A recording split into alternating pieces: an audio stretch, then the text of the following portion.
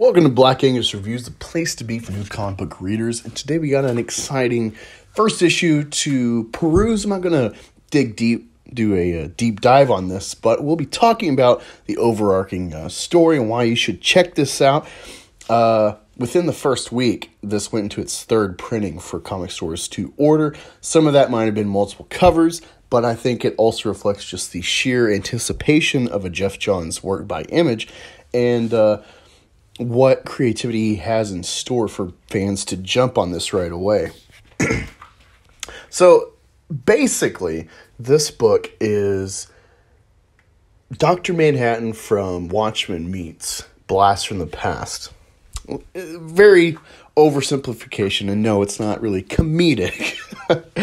Uh, although I do suggest you check out both the Watchmen comic and movie by Snyder, director's cut, and Blast from the Past Brendan Fraser. Great, uh, comedic, interesting, unique take. Um, but anyway, uh, what I mean by all that is you have, uh, starting out in the book, you got these, um, in the near future, you got these guys in hazmat suits walking around in the desert and they find a crater and they end up making camp and uh, they're talking this guy's telling the story about this uh, nuclear man, this glowing man that's uh, a bit of a legend in this area, it seems.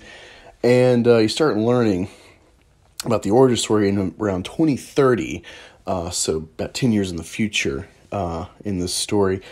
And you got this family who's got a fallout shelter, and this nuclear war, for whatever reason, starts, and uh, people are trying to find resources, shelter, and they become very. Um, volatile to each other because of uh, you know the necessity to, of survival. It makes people um, confrontational instead of trying to work together. It's all about you know uh, no one cares about me more than me kind of uh, instinct. I think we all have to some degree before we overcome it with logic and work together.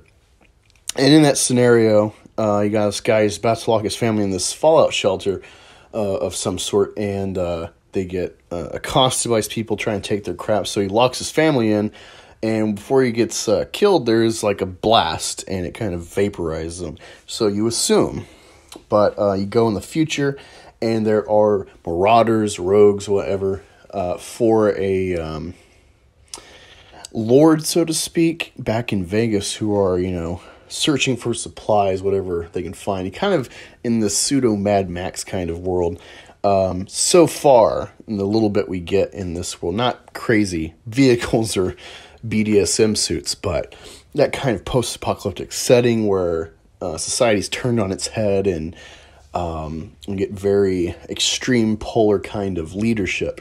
And uh, they come across our character Geiger, um, who somehow survived, we don't quite know and uh, you get a cool kind of look into his life once he chases them off his property, beats them up, and sends them on their way. And uh, it's simple, easy to digest uh, opening, but really great art by Gary Frank and colors by Brad Anderson. And uh, it flowed very well, so I'm really excited about where the story goes. I will be, because uh, I'm late to reviewing this.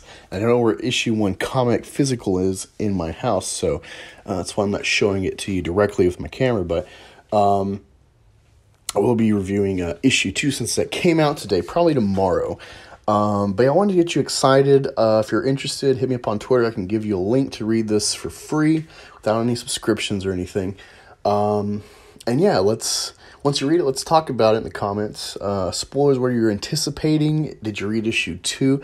Uh, because I will be reviewing that tomorrow, and we can talk about that as well. But yeah, thank you all for joining. I appreciate it. If you're interested in supporting me, there's links below. You can join the channel uh, for five bucks a month.